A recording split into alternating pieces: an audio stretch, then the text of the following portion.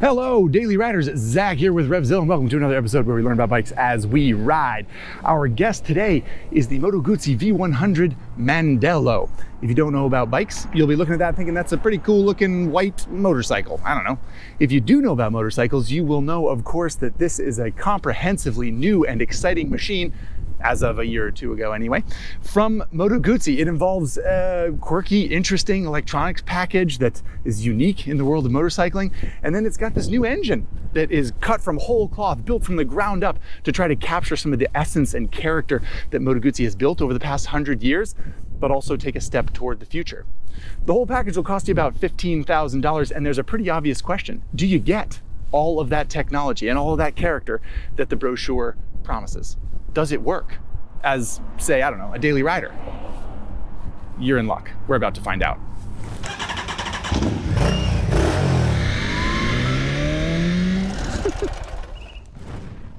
Alrighty, everybody. Before we get going here, quick reminder this video is brought to you by RevZilla. RevZilla, in addition to being the YouTube channel that you are watching, is an e commerce platform where you can get all things for you and your motorcycle, whether it's a helmet, jacket, boots for you, it's uh, saddlebags, tires or some sort of cleaner for your machine. It's all at RevZilla.com. Some of the money that RevZilla makes by selling parts and accessories for riders and machines goes into making content like this, Daily Rider, or the Shop Manual with Ari Henning, the High Side Low Side podcast, or CTXP Adventures. So next time you do need something for you or your bike, we hope you'll keep that in mind. In the meantime, thank you very much for watching. Yoki dokie the Moto Guzzi V100 Mandello. Where to start? At the engine, where we always start, right? That is a 1042cc 90 degree V twin. So the same cylinder splay as a Ducati, but it is transverse. So the cylinders are like this instead of uh, like this. That comes along with its own challenges and quirks, but the most important thing to keep in mind with this 1042cc engine is that, like I said before, it's all new it maintains the same shape as Moto Guzzi engines have historically been, but of course makes some pretty major changes. Chief among which the cylinders have rotated. So instead of the intake being here and the exhaust being here, they've swept it so that the intake comes in from above, the exhaust comes out here. There's liquid cooling now, and that cylinder shift means a lot of other things have moved around and evolved as well. The alternator is tucked back up in here. Now, uh, of course, the, the intakes and airbox are up uh, sort of under here, which means the fuel tank runs back under the seat a little bit. And instead of being a big single plate dry clutch at the back of the engine, it is now a wet multi-plate unit that sits in a similar place, I think, actually. Back here somewhere, maybe. Or where is it? anyway, the point is, it is wholly new and modern, and the benefit of that are a few things. One, the liquid cooling helps control the heat in the engine more accurately, which makes the engine more efficient. It's also, the new packaging has made the whole engine four inches shorter than the 853cc engine that's in the V85 TT from Moto Guzzi, which is, I think is interesting that it's a you know much bigger engine, much higher performance, and yet is actually more compact. So gives you an idea of how big a stride Moto Guzzi made with this engine, and I think it's pretty cool. Tip of the cap.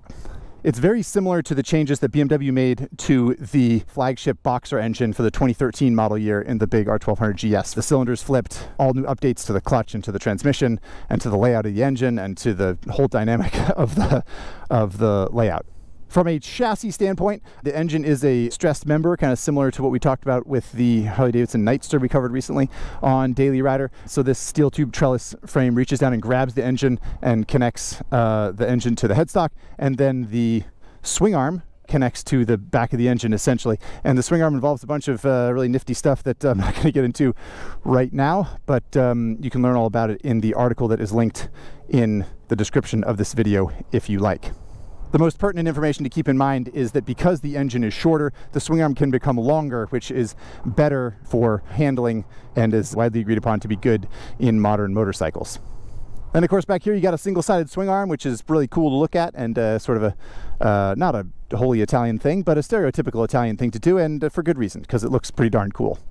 As for the rest of the componentry, it is fairly basic suspension because this is the base model V100 Mandello. The Upspec S version comes with semi-active Öhlins fork and shock, as well as tire pressure monitoring system, some other stuff in the dash like phone connectivity, heated grips, and uh, probably one other thing that I'm forgetting, maybe black wheels at the very least, I believe. So the point is the chassis on this bike is a little bit more basic than the upspec S model, but of course you save a couple grand on the price as well.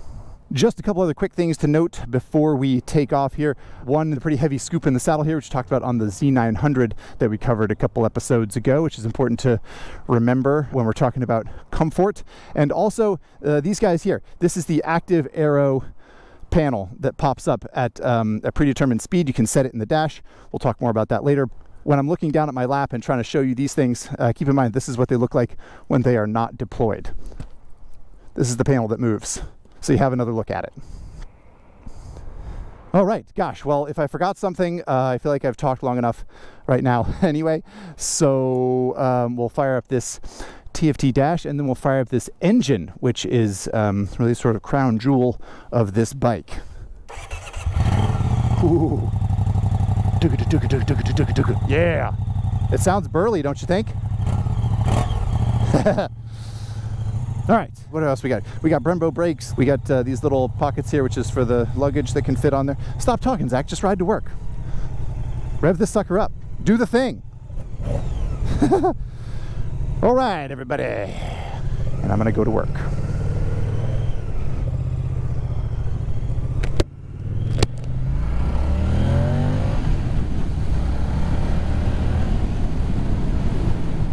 Okie dokie. Now rolling, we can start talking about specs. Where to start?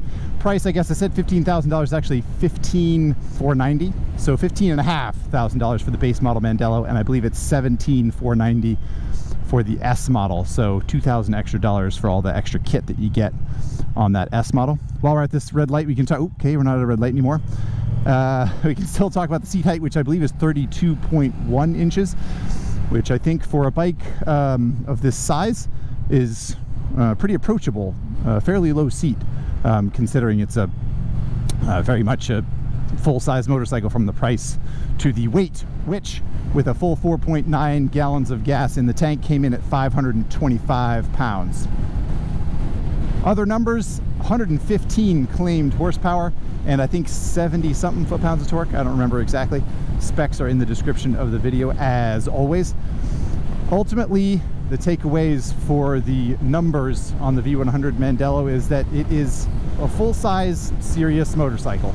Not hugely intimidating, I don't think, but not for the faint of heart.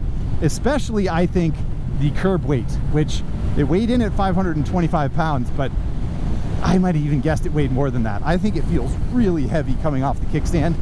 And when you ride it down the road, it doesn't necessarily feel heavy. Like it's light enough to handle, but it does not feel light.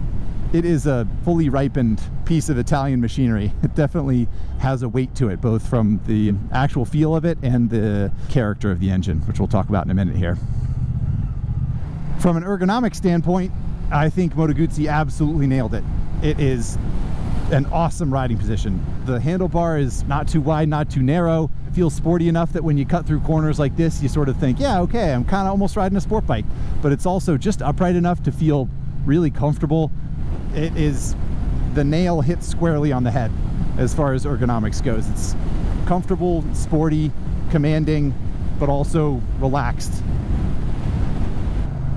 out on the open road now we can do our typical merge test here 45 miles an hour and open the throttle in fifth gear and you can see that the engine is very eager. It has tremendous low end grunt and the way that it delivers the power too is just like, oh, it's awesome. And before we get going too fast here, I'm going to jump over in the menus here to the windshield regulation uh, section and press up on this little toggle switch to my left and you'll see the windshield comes up. The electronic adjustability, I gotta say, is very, very nice. You do have to do it under 70 miles an hour though, as far as I can tell, because now that I'm going 70, 75 here, I can't adjust the windshield. But if I go down below 70, now I can move it around. It's one of those things that I find very quirky about the bike. Like electronic windshield, you want to adjust it at 72 miles an hour? no, no, no, no, no, no, no. As far as the wind protection that it provides, for me, it's darn near perfect. And I don't mean perfect in the sense that it's comprehensive, like it covers my whole body. I just think what it does is it pulls all the wind away from my chest in the upper position. Basically, it leaves my helmet in fairly clean air.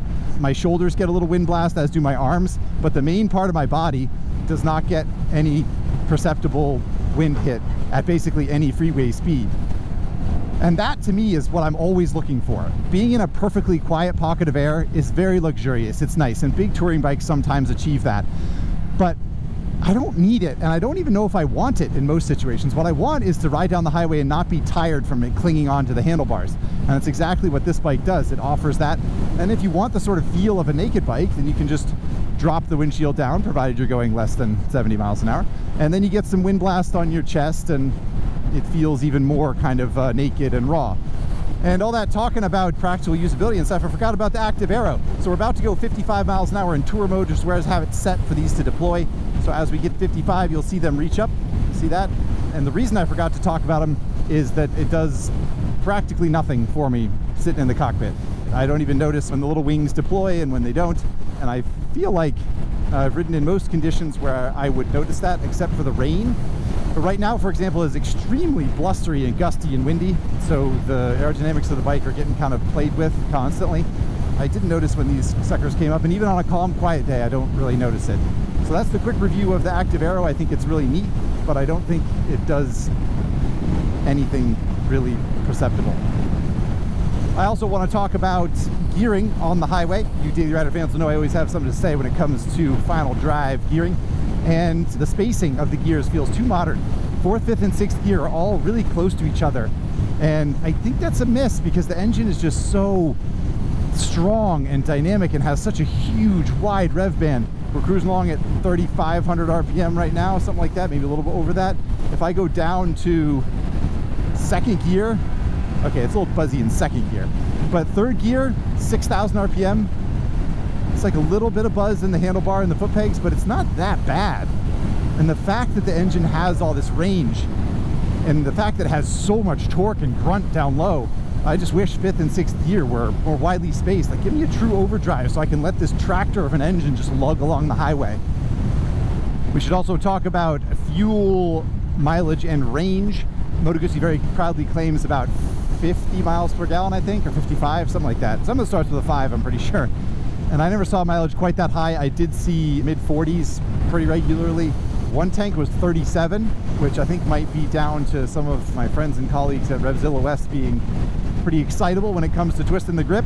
And so that tank in particular was pretty bad. And you will be tempted to twist the grip on this bike. The engine is super fun, as we'll experiment more with in other sections of the ride.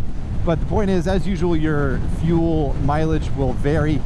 The thing I did want to point out about fuel range is that with the better part of five gallons on board, you can get pretty good range. You should be able to get a couple hundred miles if you're getting good mileage. What I don't like is that this range meter up here, you can see it here, it says 134 miles right now. That little range meter disappears when the bike goes on reserve, which is I think at nine tenths of a gallon of fuel left in the tank. And that means that the range is showing 40 or 50 miles and then the range estimator goes away which I understand the bike doesn't want to promise that you can get somewhere, but that feels a little aggressive. Like right when I need the range estimator the most, the bike's like, I don't know, good luck. And I end up filling up at 140, 150 miles pretty often just because I got a little spooked. But, uh, you know, as usual, you need to learn your machine as you ride it.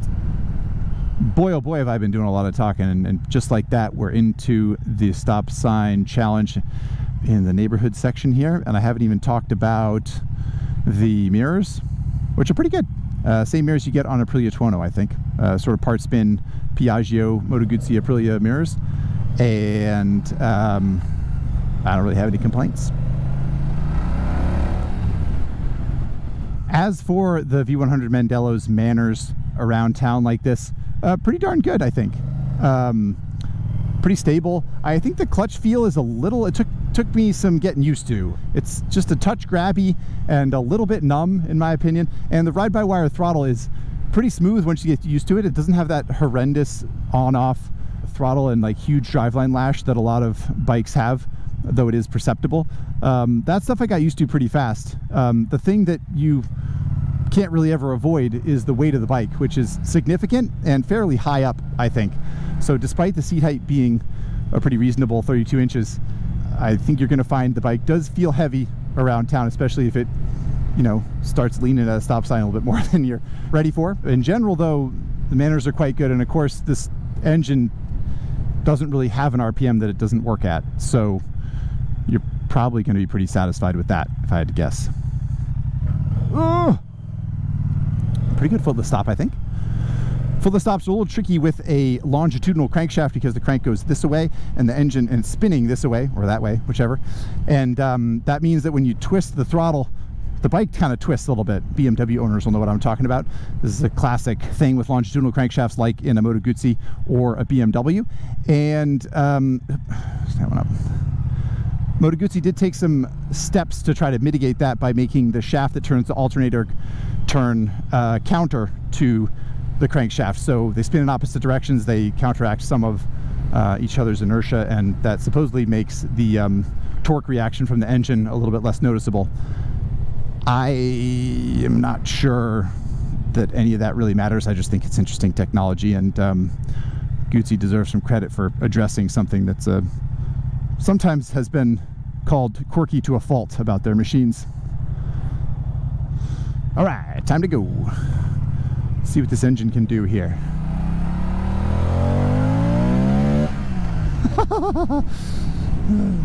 Delightful. Okie doke, headed for Lover's Lane here. We can mess with the cruise control that we did not do on the highway. Uh, if you hold this switch over here to the left, you'll see that this green light starts blinking and shouting at you about how cruise control is ready, which I think is kind of annoying, but never mind that. We can set it and we can hop back onto the passenger seat and talk about passenger accommodations, which I think are pretty good probably a little sportier than some people are going to want. I did see plenty of complaints on uh, the internet about how the passenger seat is just too narrow and it's too thin and there isn't enough leg room. And I think that that could be true, but I also think that the expectation for the V100 might be slightly different than what the bike actually delivers. I think it might be sportier and a little bit less comfortable than people are expecting. For the rider, as well as the passenger. Right into the twisty road section here.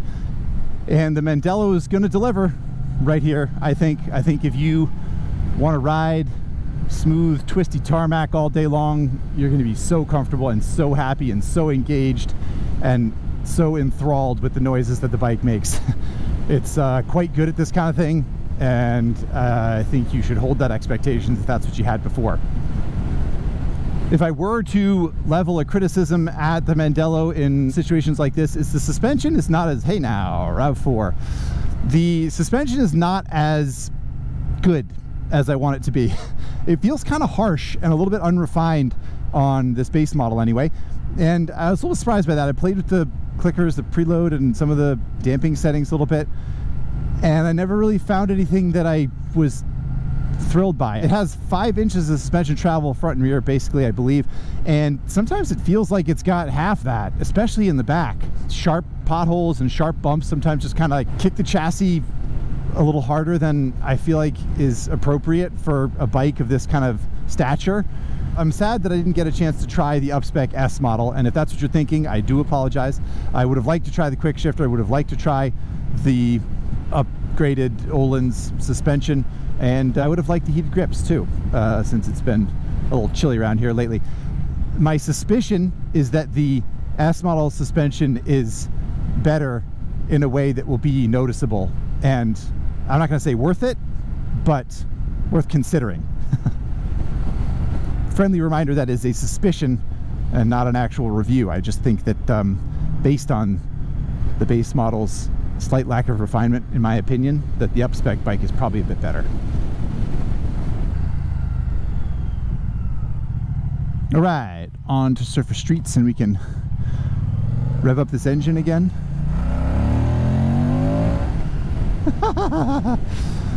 boy, oh boy. All right, red light. So we almost always catch here and we can talk about brakes.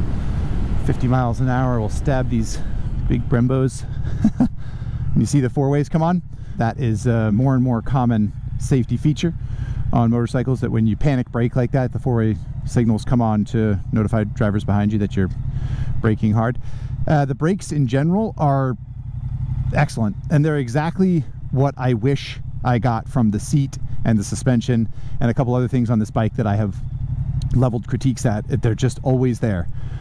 They feel progressive. There's never any question, no matter where you are in the lever pull, that you're going to get the braking performance that you want. It suits the stately nature of this bike.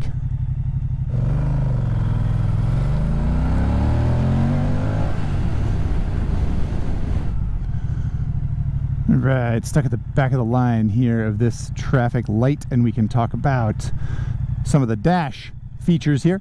Uh, you can see I'm in tour mode. If I hit this button down here on the right with my right thumb, I will go to rain mode, sport mode, and road mode. Those are your options.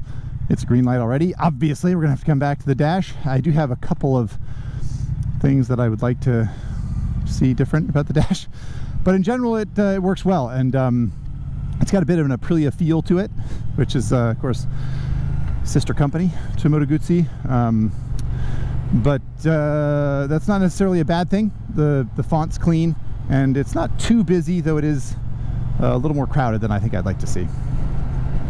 This is a section where we talk about how much I love the engine, and if it wasn't clear, the engine is a reason to get this bike. It is unique and very wholly Moto Guzzi, and yet much more dynamic and ferocious and um, modern feeling than Moto Guzzi engines typically are. I wish I tried the S model, like I said, because I'd like to try the quick shifter. But one thing I like about this powertrain in general is I like shift. I like pulling in the clutch and trying for the perfect shift because it is quirky and characterful enough that it doesn't always work the way you want it to. And I say that as sort of a, a compliment, really. I think that it makes for a more engaging experience and I appreciate that. All right, let's talk about this dash one more time, shall we? Where was I? I was talking about the font and that kind of thing. I think that if this this dash could use a really, truly stately, clean tachometer, because this this sound and this engine is what you want to be listening to and paying attention to. And I don't really care what the temperature gauge says. Really, like, just tell me if it's wrong. I guess. The bike doesn't need a dash that is more beautiful than this, but it does deserve a dash that's more beautiful than this, in my opinion. But anyway, on to the more practical matter of uh, how it works. If you hold down this right uh, button on this four button keypad over here, you will enter this menu where you can jump in and change these options like backlight and uh, the ride modes, which are all adjustable for um, the active aero, the uh, traction control, and uh, the other thing that that means. I don't really remember. Uh, anyway, is it a good dash? Yes. Is it a great dash? Not as great as the bike, I don't think. Okie doke, coming to the end of the ride here. Boy, have I talked a lot about a lot of different things. I feel like I've rushed through so many things. I probably forgot to talk about some things. And if that's the case, I'm sorry. But I would like to circle back to that um, original and obvious question that I asked, right? This, uh, this bike promises new age technology and it promises uh, the, the sort of uh, strength, character, poise, uh, uh, essence of, of a Moto Guzzi. And do you get all of those things? The simple answer is yes, you do. And I, I think, do I think the bike's perfect? No, definitely not. Um, I don't, but I would challenge someone who doesn't like it to tell me what they think Moto Guzzi should have done within the confines of the company's pedigree and history and resources that is sort of like better than this. I think it's modern in the right ways. I think it feels cool to ride and it really captures a lot of what I've always enjoyed and I think a lot of people have always enjoyed about Moto Guzzi. Overall, definitely a passing grade. Okay, time for the dirt road short cut. Uh, I would actually have not really done a lot of playing around with traction control. Oh man, there's still water here, son of a gun. I haven't done a lot of playing around with TC modes. Um, so I'm going to try, actually, let's start in rain, which you can do the um, ride modes on the fly, which I really like for what it's worth. Um, and we'll try, ooh, it's pretty frisky in rain mode. Uh, I didn't think it was going to, I guess it's like a little more conservative when you're in this sort of muddy slick stuff here. Okay, let's go to, no, no, we're not ready for sport yet. Uh, let's go to road and we'll try, God, the suspension feels harsh on this too. Oh yeah, road mode definitely allows you to like wants to jump forward even TC on. Okay, so just for the heck of it, we'll try tour and see if this is different. Not really. That's one of my problems with the ride modes. Ugh, is that uh, they don't feel different enough to me. Sport with TC off. Delightful. that is that is as burly as you can hope for a V-twin to feel, especially a 1000. I mean, if you told me this is a 1200, I probably would believe you. It really does feel strong and satisfying. It's great. okay, back on to the yeah, yeah, yeah, yeah. Back onto the safe stuff here, and we will find out if the Mandello can wheelie. It's certainly got enough stomp. I haven't done a lot of wheelies because it doesn't really seem to like it, but let's try.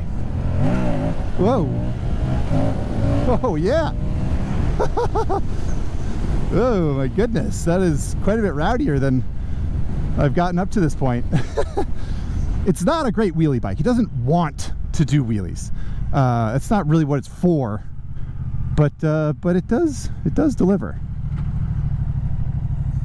The thing the engine really likes doing is this. Second gear, third gear, open it up. All right, last test here. Can you back it in? This, this is not really the type of thing I like doing with Moto Guzzi's. A little back in there. Uh, it's hard to get the tail end light with the front brake, just because, not because the front brake's not good, but it's a, it's a lot of mass to sling around. Uh, it's again, it's not made to be a hooligan bike. you can sort of force it to do that kind of thing.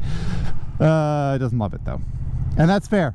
To be honest, I don't blame you. Um, you're good at plenty of stuff, Mandello. You don't need to.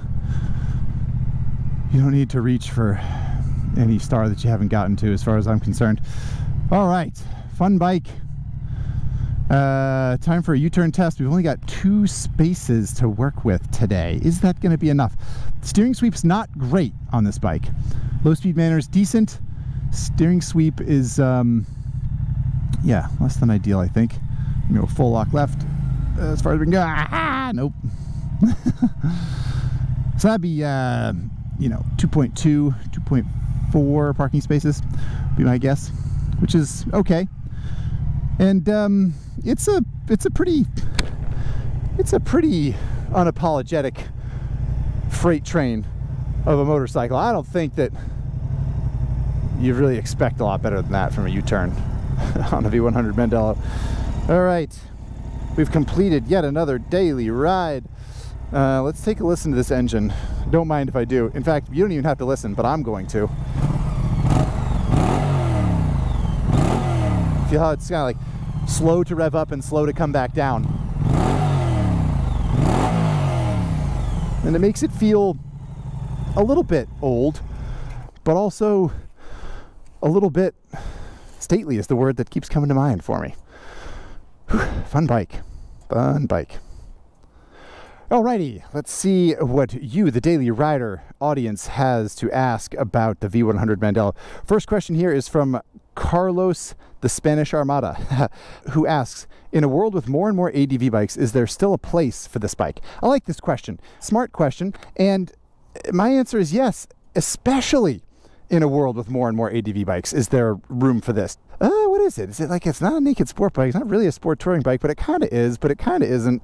It's one of my favorite things. It's sort of um, a bit of a category defying model. And I think it's fun. And I think the world of motorcycling could use more manufacturers thinking this way. What's the bike we want to build? What's the bike we want to ride? Instead of saying, like, well, the naked category has this opening and we feel like we can fit into that market. That's probably a good way to run a business. But this feels true and pure in a way that I like, even if it's imperfect. Next up is a question from Cars, Cats, and Movies. An adjunct to some other touring question How is the legroom? You're six foot two, close enough to me. Uh, you need a thicker seat. You don't need a thicker seat. I think you might want a thicker seat if you're six two or above, especially. That's what I would recommend. Next up, a question from Blacktop Roaming who says Does the active aero work or is it a gimmick? If I had to rate it on a binary system, awesome or gimmick, I'm going gimmick. Does it do something? Yes. Does it do enough for me to be impressed by it? No, it doesn't. Next question is from Camilo Botero Carrizosa. uh, that's too many letters for me to say all at once.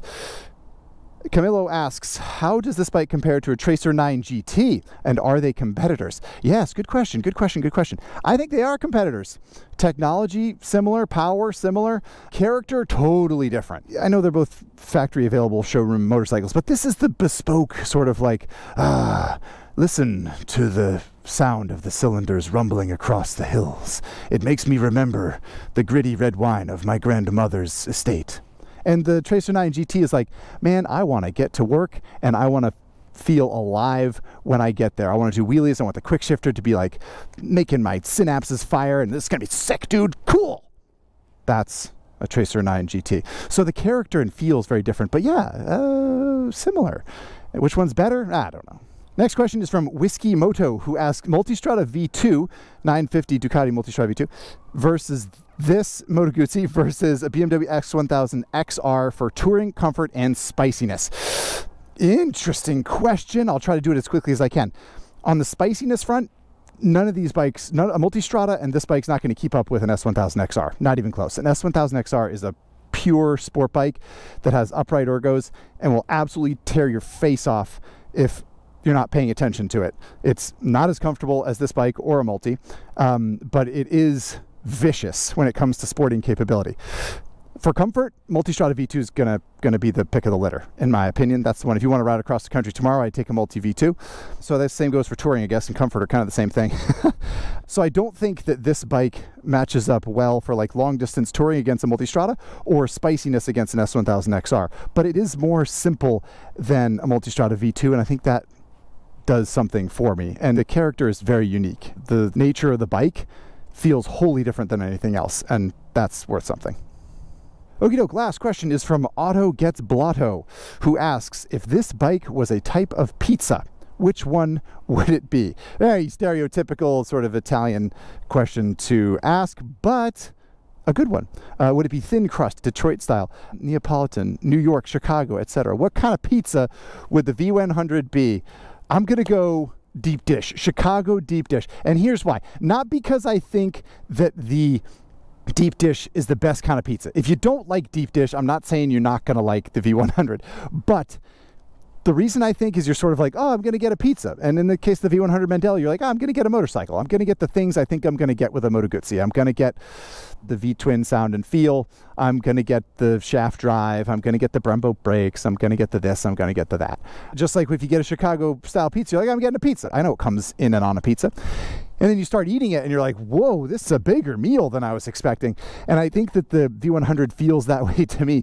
Whereas you might have three, four slices of pizza with a regular pie. With your deep dish, one is probably enough. Maybe you'll have some of a second one, depending on who you are. And I think that there's a lot of depth and flavor and a lot of calories in the V100. It's a really, really annoying and stereotypical thing to ride an Italian motorcycle and say, oh, the passion, the character.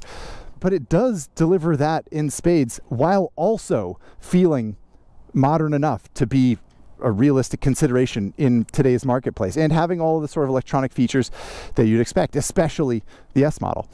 Italians will be very offended by this, I'm sure, by me associating this bike with a Chicago deep dish pie, but I just think it's meatier and more than you're expecting.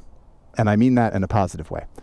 Okie doke, everybody. Thank you so much for your questions. As usual, thanks for riding along. Let's get this sucker on the Daily Rider leaderboard. Just give me a second, I'll be right back. Yoki dokie, everybody. Here we are inside Revzilla West. And the Daily Rider leaderboard, we got the Moto Guzzi V100 Mandello ready to go on the board with the Kawasaki Z900 SE and the Harley Davidson Light Nightster, which are the only two bikes that have been covered in 2024. um, it's maybe not as much a runaway as you think. Is it better than a Harley Nightster? Yeah, yeah, yeah, it is. Though I would like to point out that the Harley Nightster engine is like more modern and refined even than that Guzzi engine. It's a huge stride forward for Moto Guzzi and it's a really cool engine that that V100 has. Uh, the Nightster engine, I'm not saying it's better per se, but if you told me that I'd be talking in 2024 about how refined, modern, characterful, interesting, dynamic, powerful, um, and good to use uh, engines from Harley Davidson and Moto Guzzi were, I might have asked you what you were drinking. Um, anywho, as a daily rider, the Moto Guzzi V100 Mandello is better than a Harley Nightster. That probably won't be a huge surprise to you. Is it better than a Kawasaki Z900 SE? The capability is similar. They're both pretty good. They're pretty fast. They've got good options. They're pretty comfortable. They're, in general, pretty good. Um, the Kawasaki Z900, I think, suffers from just from just feeling like it doesn't do anything that another bike doesn't do basically, while it's a very good motorcycle. The Moto Guzzi V100 Mandello does not suffer from that. If anything, it is so unique and different and, and full of, of character that, that it might scare some people off, actually. the reason I bring up all that is that the Moto Guzzi V100 Mandello is going to go at the top of the Daily Rider leaderboard, um, but not because of all of the all of the character and the passion and the, the things that, that they put in it in the Mandello. It's just better the bike's just better. The, the electronic windscreen, the wind protection, the riding position, that stuff's all just better. Cruise control, it's, be it's better. It should be better. It's quite a bit more expensive. Let's keep in mind. A very interesting dynamic on the board right now. Um, anyway, great ride to work. Uh, I had a hoot. I hope you enjoyed it. I hope you learned something. I hope you had fun. And uh, what's coming next on Daily Rider? That's for me to know and for you to find out. Hope to see you next time. See you, everybody. Here's a good example of it here, like when I'm sitting here. So when I twist the throttle, watch the bike. See how it pulls to the left like that? Uh, so that's the kind of thing that uh, the company is trying to mitigate. And um, maybe it did. Either way, works pretty well around town.